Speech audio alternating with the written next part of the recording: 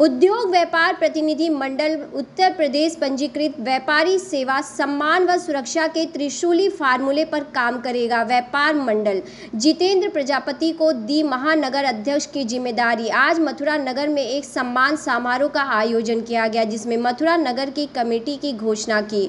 उद्योग व्यापार प्रतिनिधि मंडल उत्तर प्रदेश पंजीकृत के प्रदेश अध्यक्ष लोकेश अग्रवाल ने कार्यक्रम में उपस्थित पदाधिकारी व व्यापारियों को संबोधित करते हुए कहा कि व्यापारी की सेवा व्यापारी का चहु और सम्मान और व्यापारी की हर प्रकार की सुरक्षा व्यापार मंडल करेगा। पूरे प्रदेश में जो व्यापारी नेता हमारे चुनाव लड़ेंगे किसी भी पार्टी से लड़े किसी भी दल से लड़े हम उनका साथ देंगे हम किसी एक राजनीतिक पार्टी के साथ नहीं हैं। क्या संगठन की सहभागिता चुनाव में रहेगी? नहीं संगठन का चुनाव से कोई मतलब नहीं है।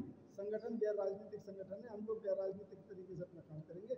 यदि हमारा कोई व्यापारी पदाधिकारी चुनाव लड़ता है तो जब हम उस इलाके में जाकर गाँव गाँव जाकर गली गली जाकर वोट उसके लिए वोट मांगने का काम करेंगे किसी राजनीतिक दल के लिए वोट हम नहीं प्रतिनिधि मंडल का गठन हुआ है क्या क्या प्राथमिकताएँ रहेंगी और किस हमारे हमारे तीन उद्देश्य हैं व्यापारी का सम्मान व्यापारी की सुरक्षा और व्यापारी उत्पीड़न की समाप्ति इन उद्देश्यों के साथ व्यापार मंडल काम करेगा जितेंद्र प्रजापति जी के नेतृत्व में एक बहुत सुंदर और सशक्त व्यापार मंडल की हम लोग मथुरा नगर में संरचना कर रहे हैं और मुझे विश्वास है कि हमारी टीम काम करेगी और इस टीम के काम करने के साथ साथ हमारा व्यापारियों के सम्मान की रक्षा हो आज व्यापारियों की सबसे बड़ी समस्या ये है कि तीन करोड़, साढ़े तीन करोड़ बैंक अकाउंट एंट्री होने के कगार पे हैं।